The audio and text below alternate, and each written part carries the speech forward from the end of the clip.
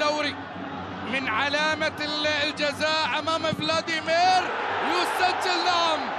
محرز يحرز الرابع.